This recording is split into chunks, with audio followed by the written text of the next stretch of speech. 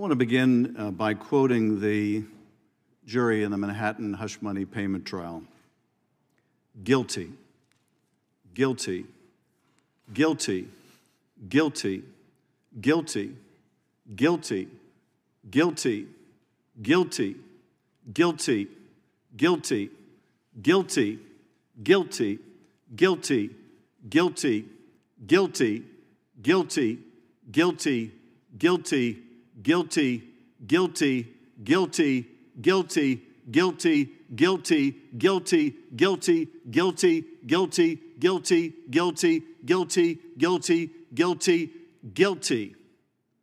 This was what the jury pronounced unanimously on every count.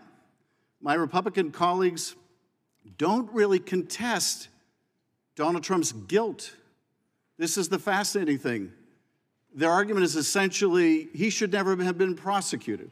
Or they falsely claim it was a political prosecution, or they falsely claim it should have been a misdemeanor, not a felony. But they don't contest, not really, that Donald Trump was making hush money payments to a porn star to hide their affair from voters.